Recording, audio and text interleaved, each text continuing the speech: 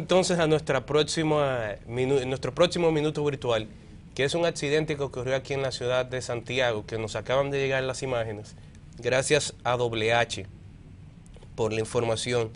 Dice que el, el accidente sucedió frente a Hoyo de Lima, en la avenida Circunvalación, a eso de las 2 y 40 de la madrugada. Fue una CRB y un Honda Civic, ambos color azul. Eh, y uno de ellos era el, el Honda Civic, un concho de la ruta F.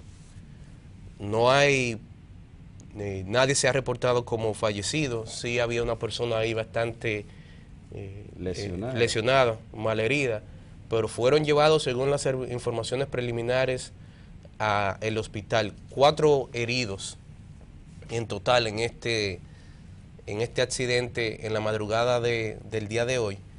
Y es la información que nos envía, vuelvo y digo, el reportero virtual WH, quien estuvo por allí y pudo captar estas imágenes. ¿Sabe, don Yuse, que hay zonas aquí en la ciudad?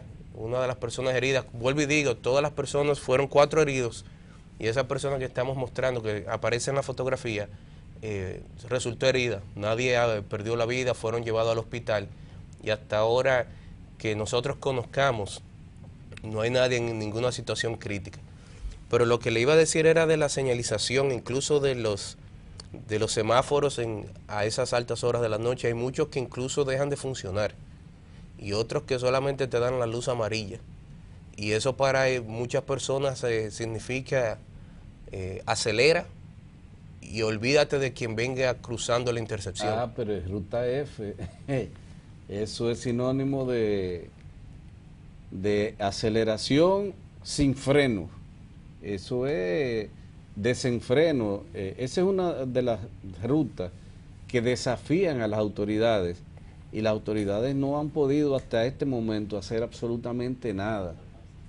Eh, lamentabilísimo ese caso pero hasta que AMET no asuma la responsabilidad que tiene que asumir, yo no creo que nosotros vamos a tener ningún tránsito con cierto orden, con cierta seguridad. Mira, incluso ahora nos, envía WH más información y nos dice que una de las personas heridas sí está, eh, resultó, fue una, una fémina con una fuerte herida en la garganta que fue la única persona que se veía en un estado complicado por el tipo de herida que, con el cual resultó afectada en la zona del cuerpo donde, donde le afectó, que fue la garganta.